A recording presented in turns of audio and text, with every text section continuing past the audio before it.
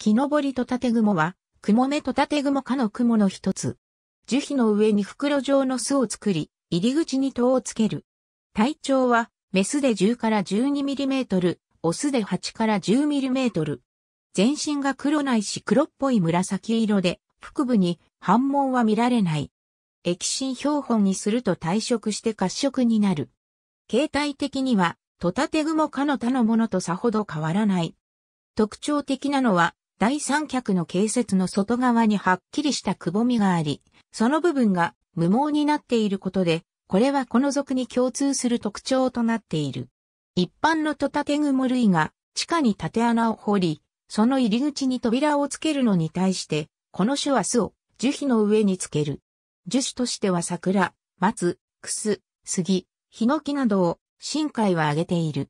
巣は糸で裏打ちされた袋状でやや腹背に平らになっている。入り口にはやや円形の扉をつけ、背面側の蝶つがいでつながる。袋の内側は密に糸で裏打ちされ、外側には苔や土、樹皮片などをつけて偽装する。そのため、蓋を閉じている場合には、発見がひどく難しい。樹木以外にも、石垣や岩壁に生息することもあり、時に浅く土を掘って一般のトタテグモに近い巣を作る例も知られる。メス生態は通年、有生態は5から7月に見られる。メスは巣内に卵を収めた卵巣を作り、陽性が2例になるまで同居する。1回の産卵数78という観察がある。樹皮状の巣本州、四国、九州、南西諸島、伊豆諸島、小笠原諸島に分布する。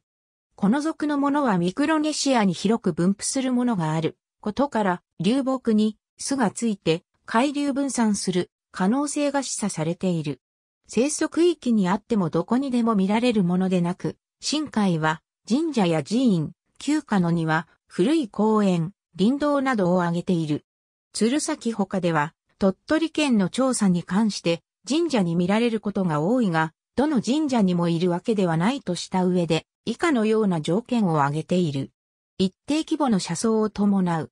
石垣が目張りしていない。この種は、環境省のレッドリストでは、準絶滅危惧に指定されており、島根県と大分県では絶滅危惧愛類に、また、複数県で絶滅危惧通類などに指定されている。この種は長くウンミジやフレジェリアの名で知られてきたが、この属のものは、ほとんどが南北アメリカ産で地中生活をするものであることから、2005年に今の族に移された。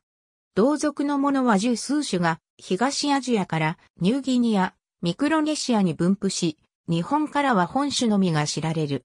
以下、小野、P91 ヤギ沼、P4 以上深海、P23 深海深海 P23 笹岡、小野 P91 日本のレッドデータ、検索システムハットホープト、